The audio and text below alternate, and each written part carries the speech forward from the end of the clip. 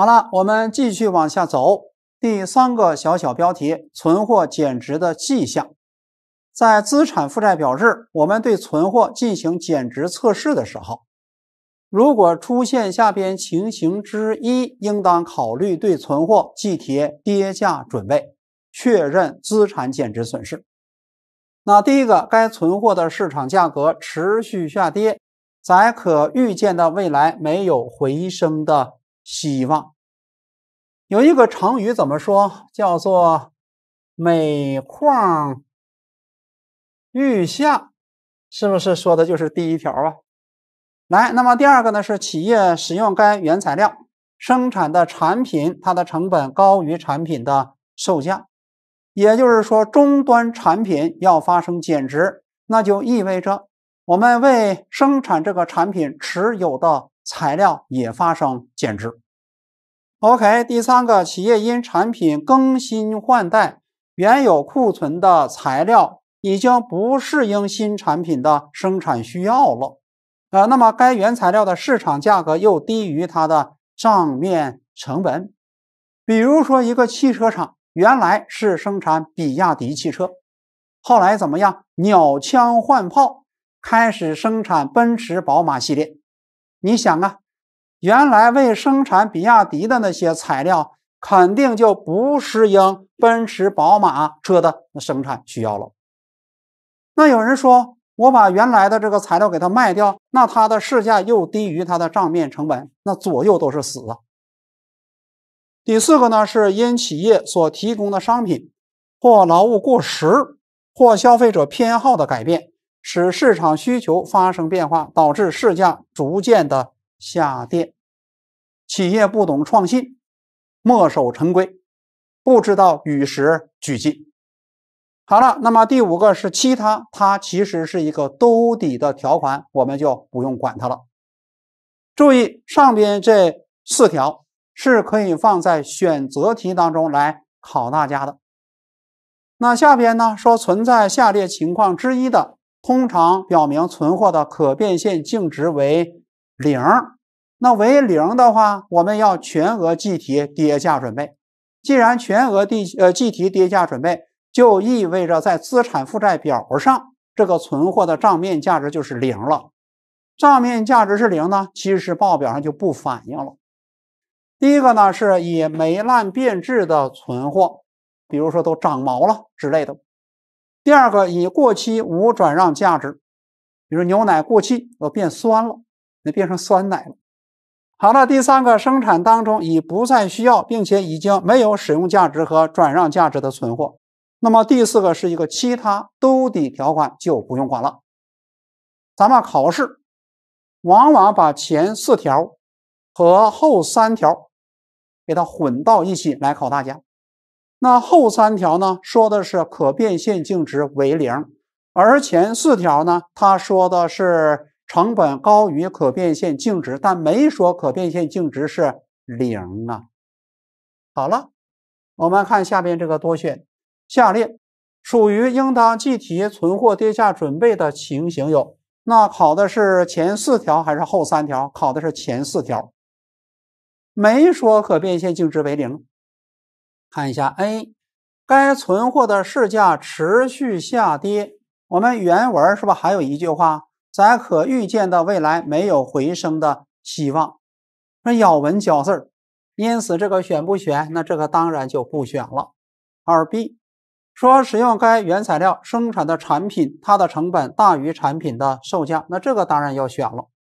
C 用于出售的材料，这个材料不生产直接卖，它的成本大于它的售价，减值啊。好，好了，那么四 D 生产当中不再需要。且该原材料的市场价格又低于它的账面价值。如果说你想拿它生产产品的话呢，会发生减值，因为生产当中用不着它了。说那我直接卖掉呢？那市价怎么又低于它的成本？这块说成本更加的准确，因此左右怎么样，反正都是死。因此这个也是减值的情形。D 呢，因消费者偏好改变。而使市场的需求发生变化，导致市场价格逐渐下跌，跌到什么程度？低于它的生产成本，那这个也要选上。所以，我们这个题的正确答案是 B、C、D、E 这样四个选项。看下一个题，说表明可变现净值为零的是 A，存货的市价持续下降，但预计次年将会回升，那当然就不是零了，所以这个就不选。B 呢，存货在生产当中已不再需要。并且已经无使用价值和转让价值，那这就是零了。C 因产品更新换代，使原库存的材料市价低于它的账面成本，这个是存货减值的，是可变现净值低于成本的迹象。那么四 D 存货已过期，但是呢可以降价出售，还能够取得一定的未来经济利益流入，那就不是零呗。所以，我们这个题的正确答案是二 B 这个选项。好了，第四个小小标题：存货跌价准备的计提方法有三种。第一个是比较常规的，我们按照单个存货项目去计提，就是单个比，用每一个存货的成本跟它的可变现净值进行比较。好了。第二个呢是针对数量繁多、单位价值比较低，简称量多价低的存货，我们可以按照类别来计提，可以简化核算。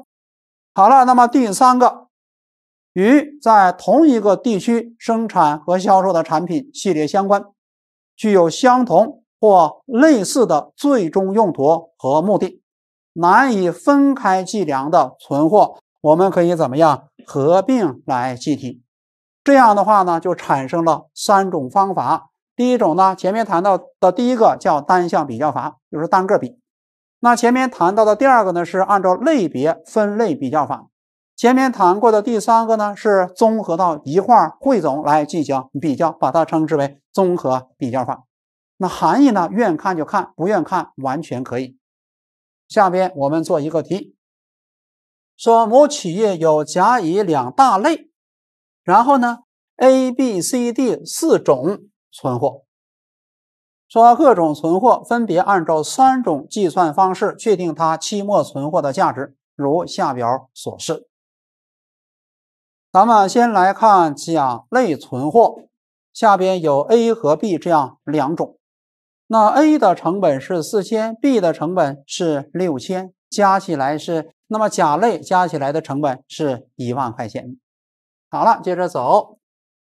呃，那我们 A 类的可变现净值呢是三千二，啊，就是 A 和 A 这个单项存货。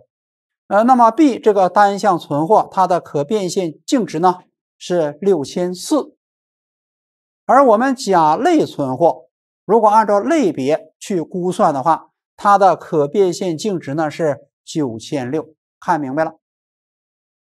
然后下边呢是针对乙类的存货，我就不给大家逐一的去读了，思路是一样的。那下边呢，我们先通过单项比较法来算它的成本与可变现净值。那你看看 A 成本呢是四千，可变现净值呢是三千二，我们。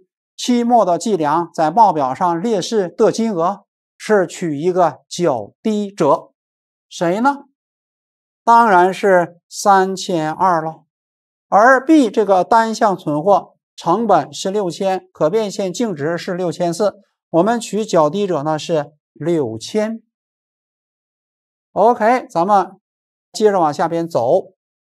如果说按照甲类存货，去计提减值的话，那你看看成本是一万，可变现净值呢是九千六，我们要取一个较低者是谁？九千六作为在报表当中列示的金额，这是针对甲类存货，我们应用了单项比较法和分类比较法，已经计算出来它在期末报表当中列示的金额了。那同样的思路，我们看乙类的存货。先说 C，它的成本八千，可变现净值九千二，较低者是八千作为期末的期末的在报表当中列示的价值。呃，那么 D 这个单项存货，它的成本是一万二，可变现净值呢幺幺六零零，我们取较低者幺幺六零零作为期在报表当中列示的价值。那如果按照类别呢？乙类存货的成本是两万，可变现净值呢是二零八零零，我们取较低者两万作为期在报表当中列示的价值。OK，这是针对乙类存货，我们按照单项比较法和分类比较法算出来他们在报表当中列示的价值了。那下边呢，我们把它们综合到一起，采用总额比较法。算一下，在报表当中列示的金额是多少钱呢？那你看看成本是多少？我们用甲类的一万加上乙类的两万，这样的话更快。结果呢是三万块钱。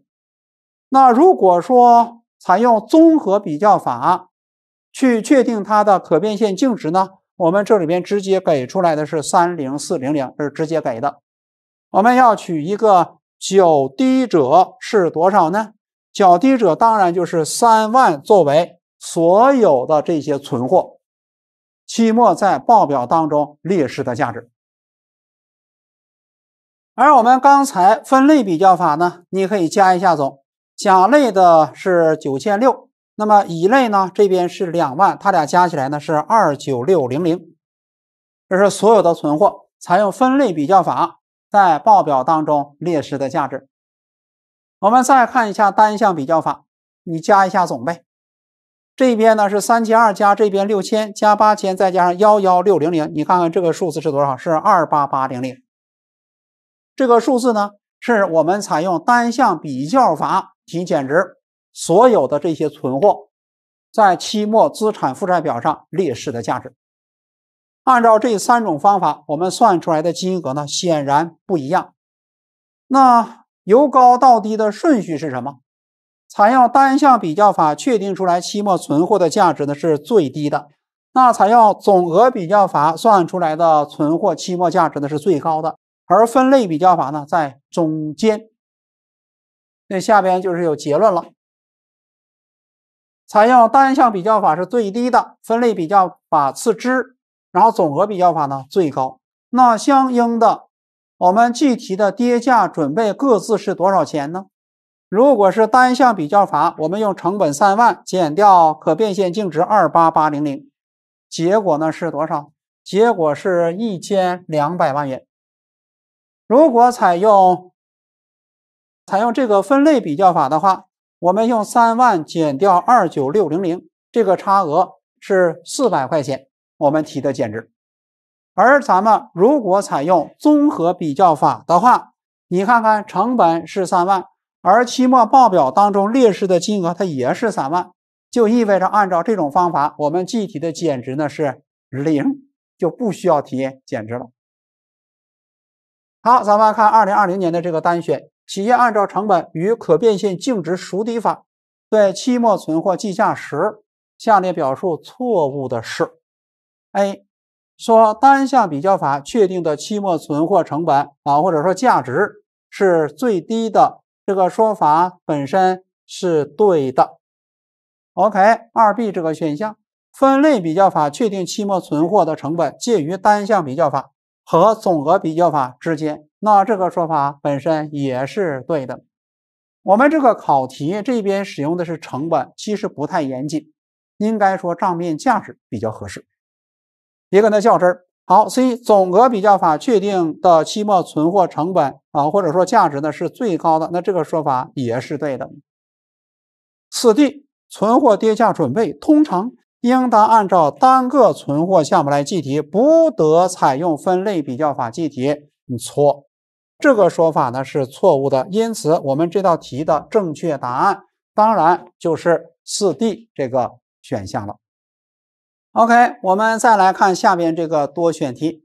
这个题的题干比较长，我们先看要求，说下列表述当中正确的有，看到了吧？它考的是让我们分别按照单项比较法、分类比较法和总额比较法来确定期末存货的价值。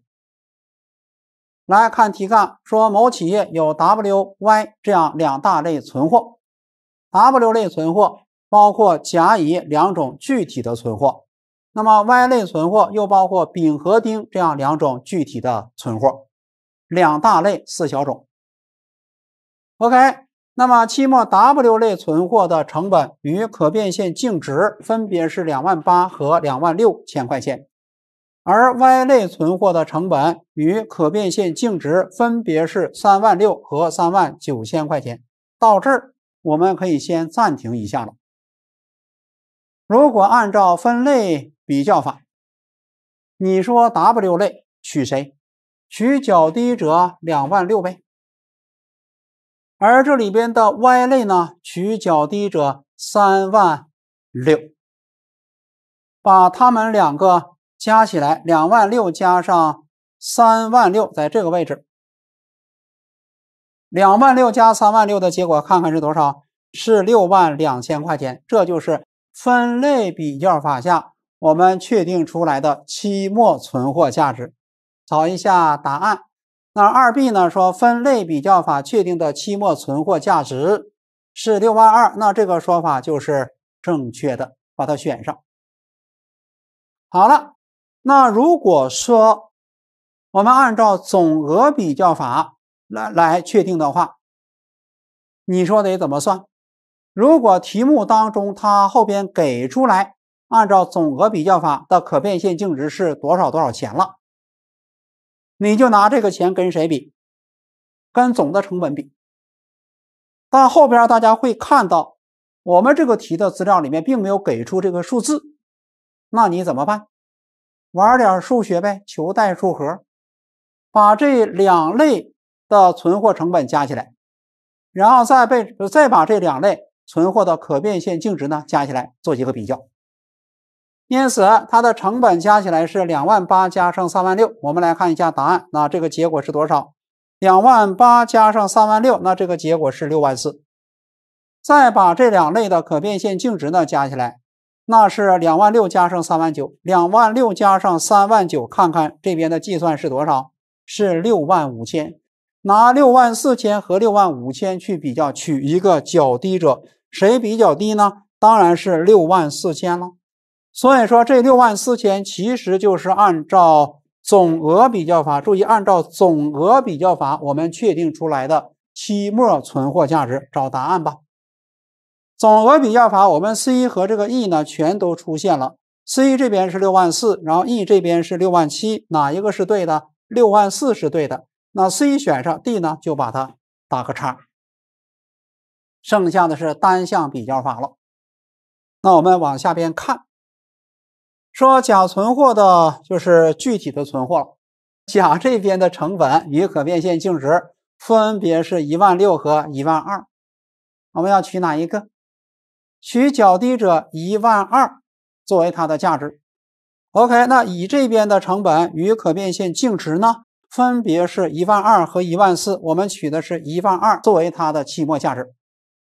好了，那丙这边的成本与可变净值分别是两万六和二九八零零，我们取的是两万六。OK，丁这边的成本与可变现净值分别是一万和九千二，我们取的是九千二。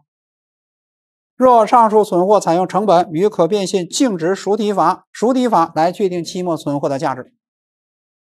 问选项正确的，剩下的是谁？单项比较法，就把我打三角形的这几个数字，谁呢？那也就是一万二，呃，把它们加起来，一万二加一万二，再加两万六，再加上九千二。我们看一下答案当中的计算过程：一万二加一万二加两万六加九千二，这个结果呢是五九二零零。五九二零零哪一个是对的？选项 A 是对的，那 D 怎么样？就错了。所以，我们这个题的正确答案是 A、B、C 这样三个选项。好了，第五个小小标题是存货减值的账务处理，是分录怎么来编制？如果是计提的话，我们要带存货跌价准备，借资产减值损失；如果转回的话，把这个分录翻着做。借存货跌价准备，贷资产减值损失就可以了。由于资产减值损失是属于损益类的科目，它记借方会导致当期利润减少，那么它既代发呢会导致当期利润的增加。所以计提减值呢会减少当期利润。如果说将来市价回升，转回减值呢会增加当期的利润。OK，那么某期应当计提或转回的存货跌价准备金额，大家可以套这个万能的公式来计算。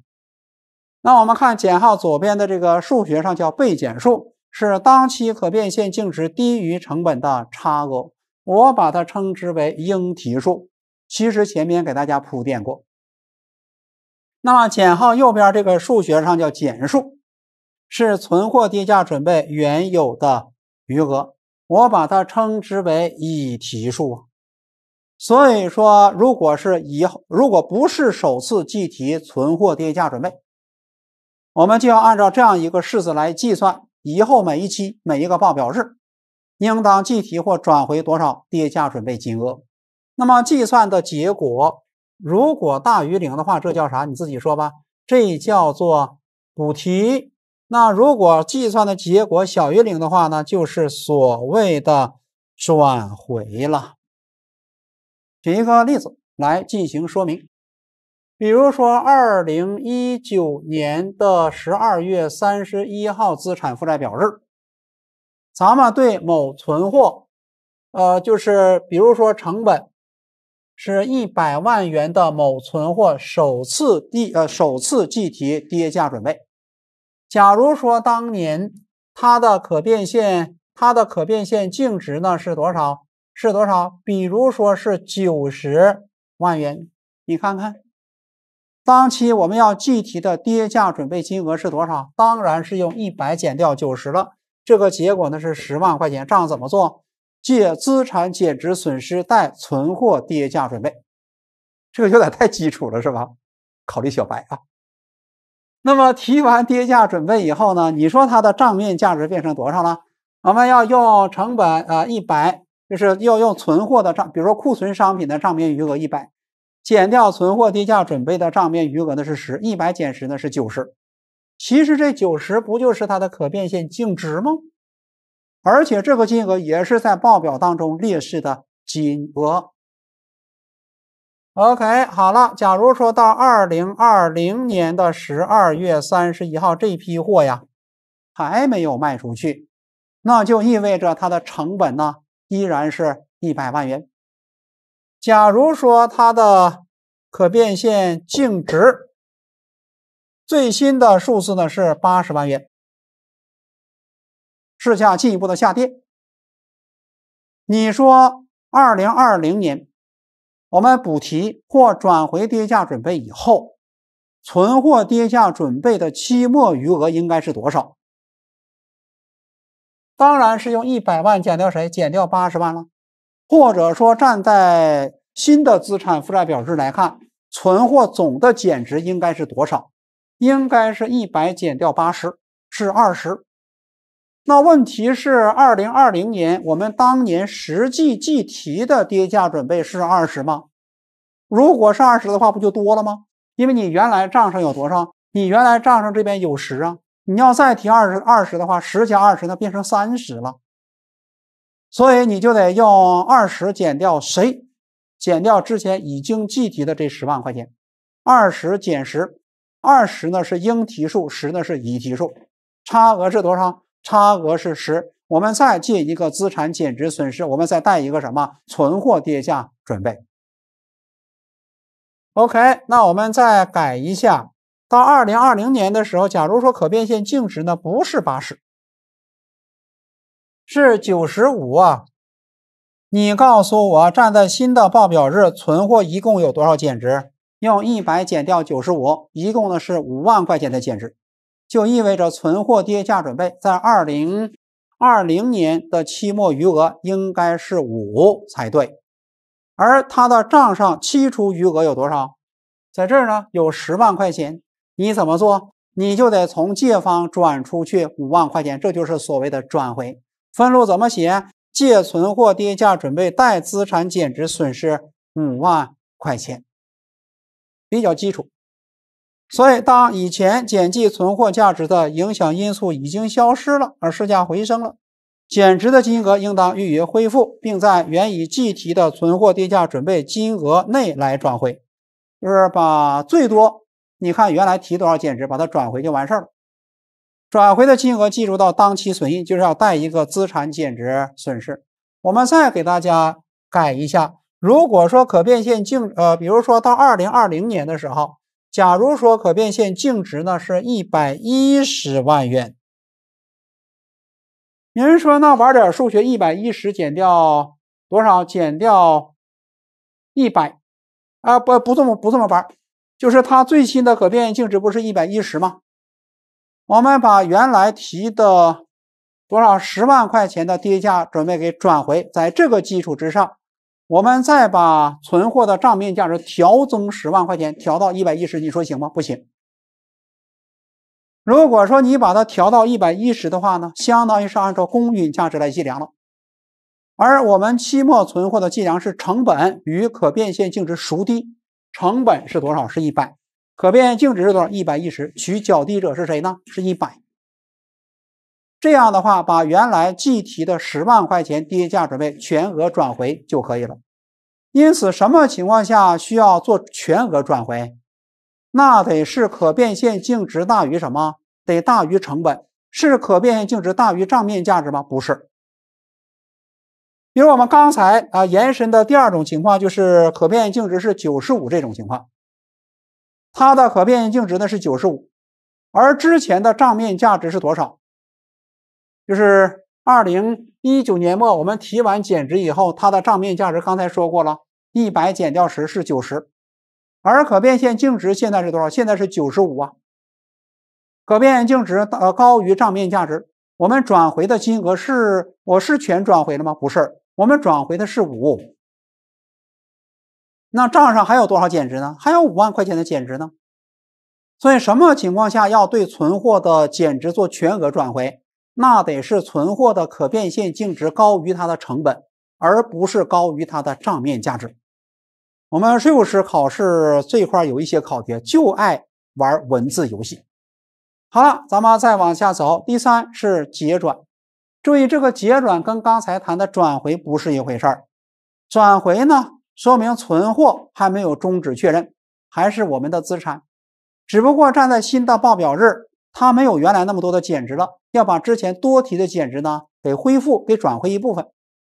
而这个结转说的是存货处置了，我们要对存货的账面余额做冲销，那相应的存货跌价准备的余额也要反向冲销，这叫做结转。所以他说，对于计提了存货跌价准备的存货，如果对外处置，包括出售、债务重组、非货币交换等等。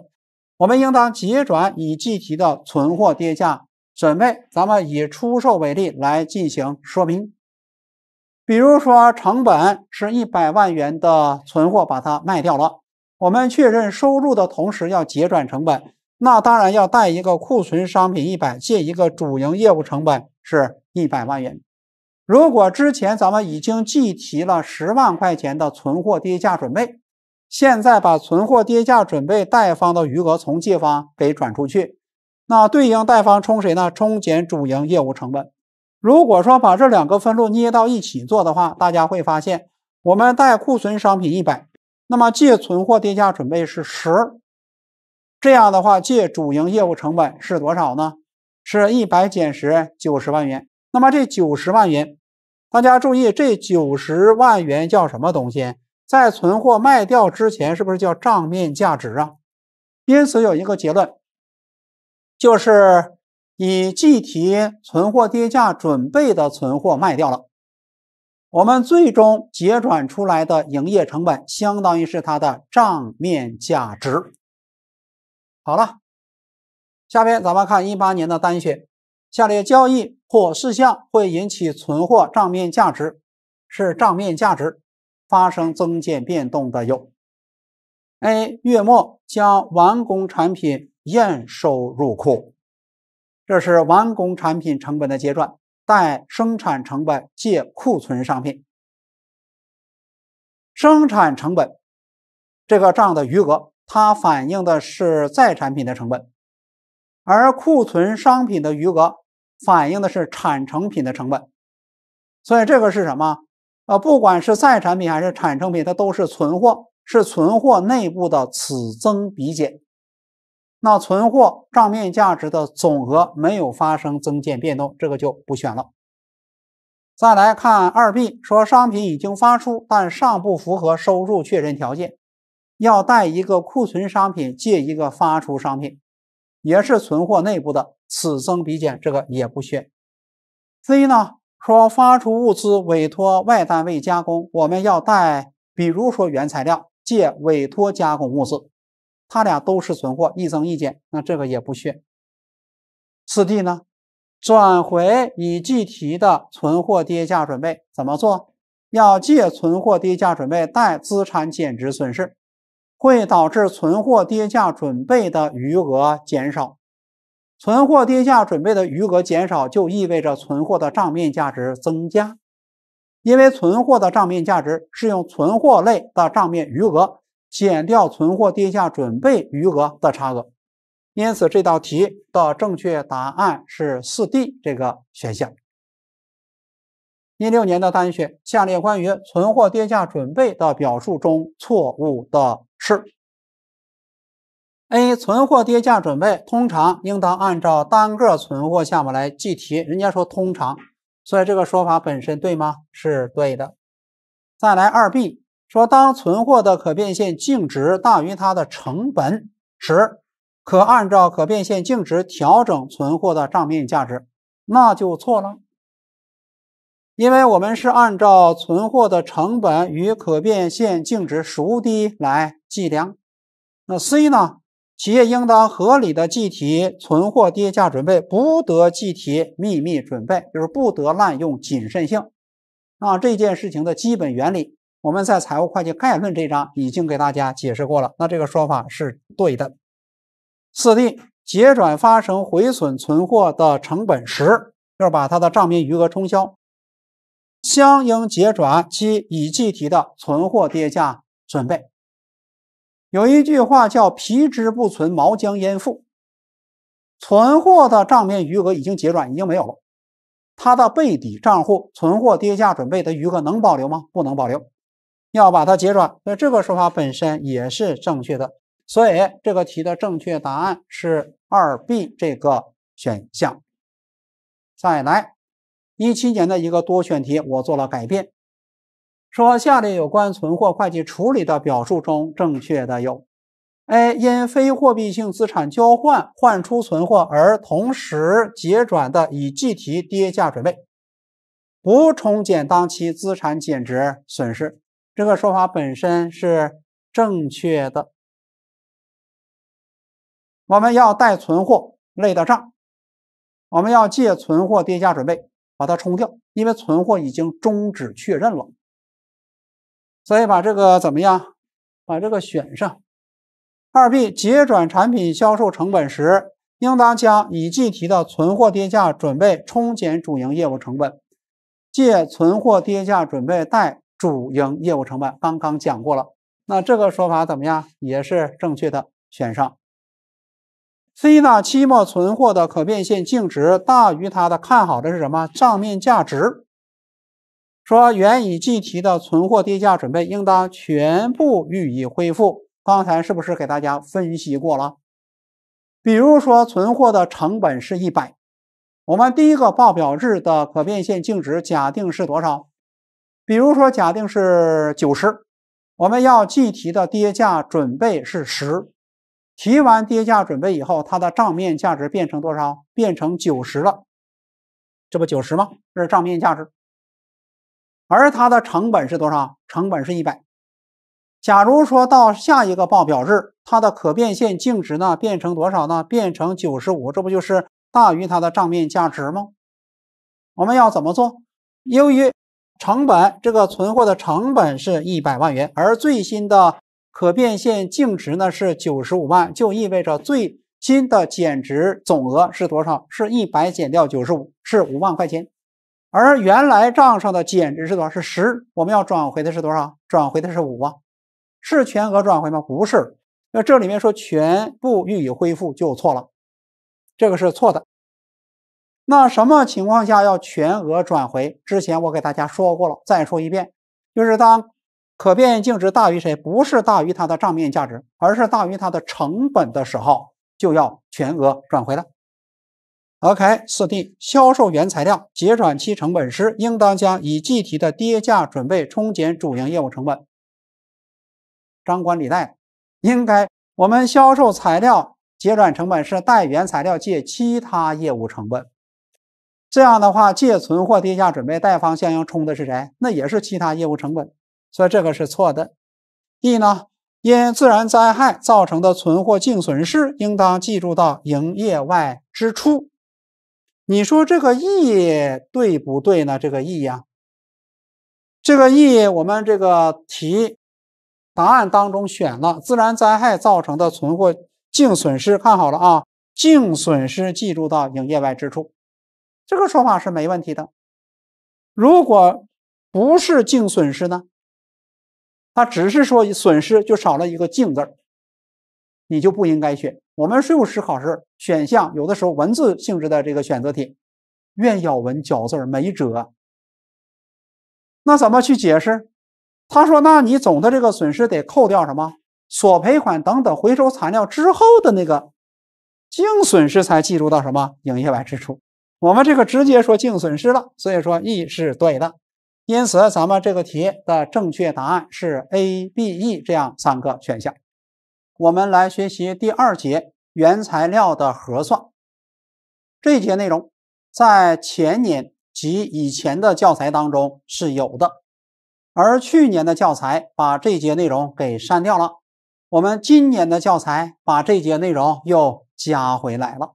我想到了那句话：“我胡汉三又回来了。”其实这里边讲的很多内容，尤其是原理性的东西。咱们在前边第一节都已经给大家讲过了，所以很多内容其实是属于复习性质的啊。这一节内容不太重要。第一个大的问题，按照实际成本计价的原材料核算。先说第一个小标题：原材料收发的核算。对于购入原材料，我们要分别下边几种情况来处理。第一种情况，发票账单和材料同时到达，我把它称之为单到货到。借原材料，如果说拿到了扣税的凭证，可以抵扣的话，借应交税费应交增值税进项税额。同时呢，贷银行存款，这是给钱了。如果签商业汇票，应付票据；如果是普通的赊购，应付账款等等。好了，第二种情况，发票账单未到。或者对方还没有给我们开发票，或者在邮寄的途中货款未付，材料呢已经验收入库了，材料先到了，我把它称之为货到单未到。怎么做呢？如果说发生在平时的话，就不要入账了。为什么？因为入账需要原始凭证，而这里面发票还没有拿到，那你怎么入账？如果说到月底的时候，这个发票账单还没有到的话，我们怎么样啊？为了确保账实相符，因为已经是我们的资产喽，要暂估一个金额做暂估入账。借原材料贷应付账款的二级科目叫暂付应付账款。这个二级科目大家一般了解。等到下月初红字冲回，就是第二天上班的时候打开电脑，第一件事情呢，给它冲销。怎么做呢？借原材料贷应付账款暂估应付款，只不过呢用红字冲，啊，把它冲了，说明啥？说明这个业务相当于是没做呀。之后呢，收到发票账单的时候呢，我们再做正常的处理就可以了。第三种情况，说发票账单已到，票已经拿来，但材料呢尚未到达或尚未验收入库。我把它称之为单到货未到，怎么做？要贷银行存款、应付票据、应付账款等等。如果可以抵扣的话呢，借应交税费、应交增值税进项税额。然后材料的成本记哪个科目啊？叫做在途物资。实际成本法，我们这边使用的是在途物资。那如果是计划成本法，这边使用的是什么？材料采购。OK，第四种情况，货款已经预付，这叫预付货款。我们首先要借预付账款贷银行存款，等到材料到达的时候，我们验收入库，借原材料，借进项税，按照价税合计，我们贷预付账款。如果说之前预付的不够，补付余款，贷银行存款，借预付账款。如果之前付多了，有一部分收回来，借银行存款贷预付账款，账就平了。接下来第二个小标题是企业生产经营领用原材料，原材料发出要贷原材料，借方呢体现一个受益的原则。呃，如果是生产产品发生的直接材料成本，借生产成本。如果是车间范围内的一般性的耗用，是属于间接费用，我们要借制造费用。如果是销售部门耗用，销售费用；如果是行政管理部门耗用，管理费用。如果发出去委托别人加工，那就借委托加工物资呗。好了，第三，集体福利部门领用的原材料，比如说外购的材料作为福利发放给职工。我们要带一个原材料，那这种情况下，按照税法规定不允许抵扣，所以把之前抵过的增值税转出去，要带一个应交税费、应交增值税专栏叫进项税额转出。之后呢，借应付职工薪酬。那分配职工薪酬，我们是记到他的贷方，贷应付职工薪酬，借相关成本费用。关于应付职工薪酬的内容。咱们会在流动负债这一章给大家详细的讲解。OK，第四是出售原材料，比如说边角余料，把它卖掉，贷原材料。如果这个材料我们之前已经计提了跌价准备，要把它的贷方余额从借方转出去，借存货跌价准备。这样的话，结转的是账面价值。借一个其他业务成本就可以了。好了，那么第一个小标题讲完了。第二个小标题说，原材料在采购过程当中发生短缺或呃和毁损的处理，要分三种情况。第一个，如果是定额内合理的途中损耗，其实上一节不都我们第一节都已经讲过了，合理损耗作为合理必要支出。要计入到存货，要计入到材料的采购成本。OK，那么第二种情况，如果能够确定由供应单位，就是供应商、运输单位、保险公司，如果投财产保险了，或者其他过失人赔偿的，就是有索赔款呗，应当向有关单位或呃或者说责任人索赔。自在途物资科目转入应付账款或其他应收款科目，就是把损耗，就也就是说这一部分的损耗，当然就不是途中的合理损耗了，你就不能够把它计入到存货成本，所以得从哪个科目呢？我们之前买的时候是借了一个在途物资，刚才不是通过一张表格把各种情况给大家概括了吗？那现在由于发生了不合理的损耗，不合理损耗的部分要从在途物资这个账户的贷方转出去，往哪儿转呢？这里边说了，说比较容易理解的是挂一个往来，其他应收款跟别人要钱，跟过失人赔款的那个单位去要钱呗。然后这里边说还有一个应付账款，怎么理解？如果咱们买的这个货呀，对供应商这边是赊购的，我们之前说贷过应付账款，那现在你就冲他呗，将来咱们结算就不用付给他那么多钱了。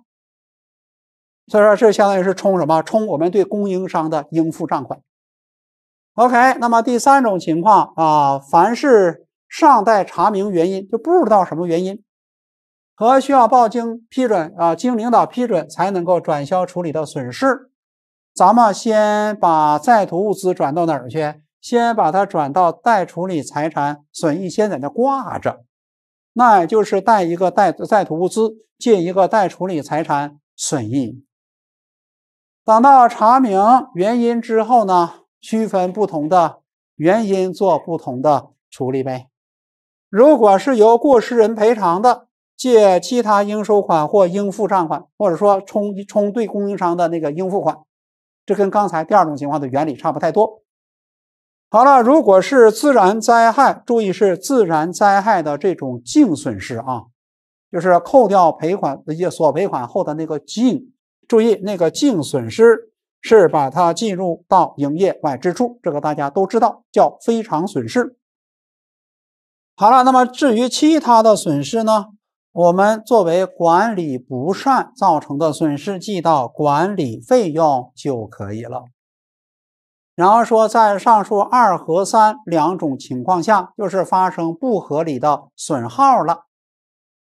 那短缺和毁损的材料所抵扣的进项税，应当做进项税额转出。什么原因？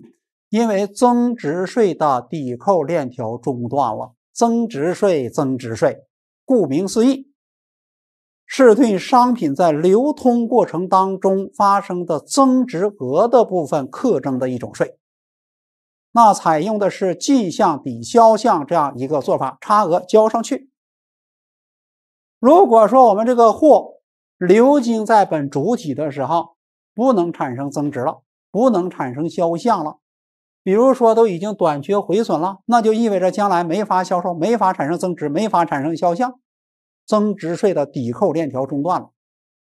之前抵扣的增值税就不让你继续抵了，怎么办呢？那就转出去呗。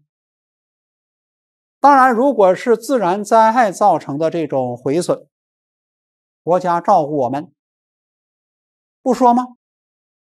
大家看过拜拜年那个小品吗？赵本山、高秀敏还有范伟当年的铁三角，说大侄儿既然已经从范乡长变成三胖子了，咱们就不要再当头给人家一棒子了，不要让人让让人家雪上加霜。所以自然灾害造成的损失呢，不需要做进项税额转出，也就是说这一部分是可以抵的。是国家对受伤企业的一个照顾。好了，第一个大的标题我们就说这么多。那么第二个大的标题是按照计划成本计价的原材料核算。关于计划呃，关于计划成本法的内容，我们在本章的第一节已经给大家详细的讲解过了，而且我强调过它的重要性。要准确的计算出来材料成本差异率这个指标，那这个式子的分子要注意什么问题？节约差用负号，超支差用正号。分母要注意什么问题？如果期初的计划成本当中包含上月暂估入库的，要把它减掉。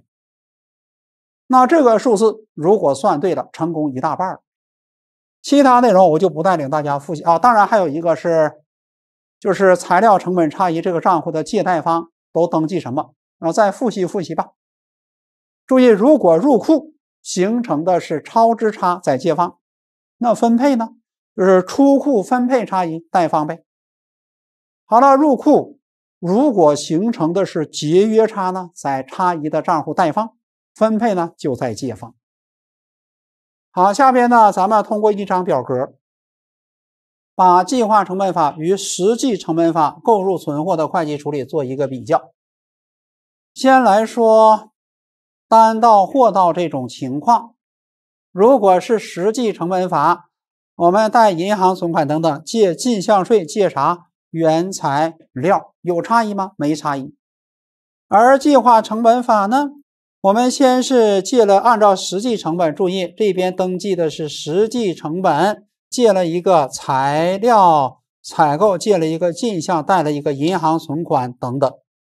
同时呢，我们做一个入库，按照计划成本借了一个原材料，同时呢，把材料采购的余额给冲销，冲销的相当于是实际成本。那么实际成本和计划成本之间的差额，这是入库形成差异。把它计入到材料成本差异的借贷方。刚刚说过了，如果是计划成本大于实际成本，这叫节约，那就记贷方。如果是呃计划成本怎么样小于实际成本，超支差，那这个差异就记借方。好了，咱们接着走。第二种情况是单到或未到，在实际成本法下，我们使用了一个在途物资科目来核算存货的实际成本。而在计划成本法下，这个位置我们使用的是另外一个科目，叫材料采购，来核算它的实际成本。然后呢，借进项带相关科目，呃，营养存管等等，这个是一样的。OK，那第三种情况是货到单位到，如果发生在平时的话呢，是不用做处理的。如果到月末发票账单还没有到的话，在实际成本法下，我们要做一个暂估入账的处理，就是借原材料贷应付账款，下月初怎么样红字冲销。那如果说在计划成本法下呢，同样要做暂估入库，只不过你暂估的这个金额比较容易算。计划成本法下，我们有计划有单位计划成本，你用单位计划成本乘数量，是不是就估出来了？咱们借一个原材料贷一个应付账款就可以了。也就是说，原材料已经登记它的计划成本了。那么等到下月初，在计划成本法下用不用红字冲销呢？其实不用，没必要。等到发票账单来的时候，实际成本就知道了，你再补一个实际成本。那实际成本和谁？实际成本和计划成本之间的差异，你结转一个材料成本差异，就是形成一个差异就完事儿了。好，那么这节内容就给大家讲完了，比较简单。